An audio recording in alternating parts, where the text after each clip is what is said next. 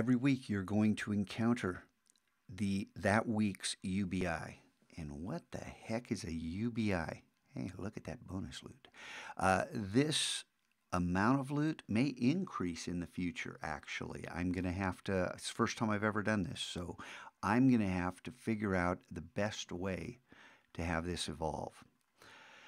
Um, you're watching this video, please watch the entire video before clicking this link.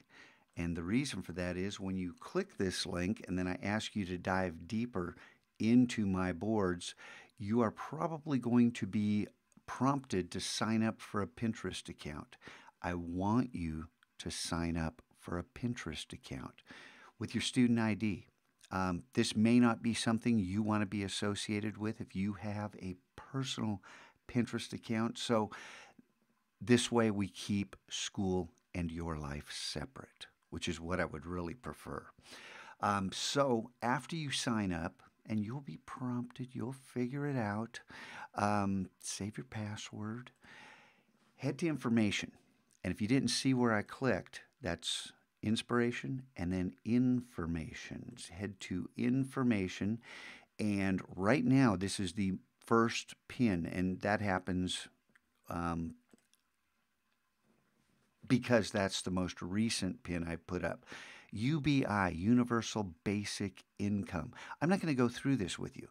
I want you to spend a little time looking at this and pondering the information here. Now, I know everyone's not going to agree with what you're going to find here.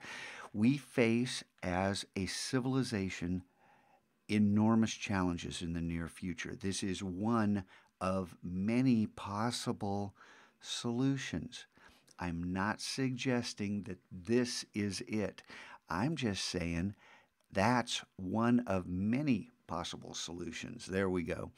So, once you've done that, once you grasp the concept of the universal basic income, uh, go ahead and you have, of course, signed up for your own Pinterest board. Click through and claim your UBI for this week. That's it. That's how simple it's going to be.